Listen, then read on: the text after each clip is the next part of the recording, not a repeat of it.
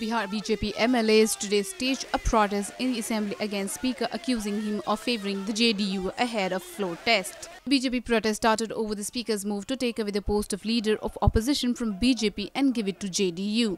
The Speaker recognized JDU as main opposition party and granted status of opposition leader to Vijay Chaudhary.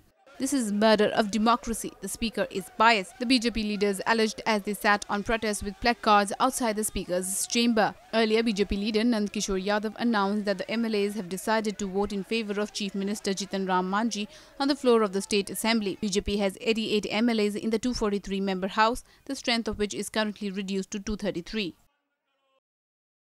Powered by NNIS.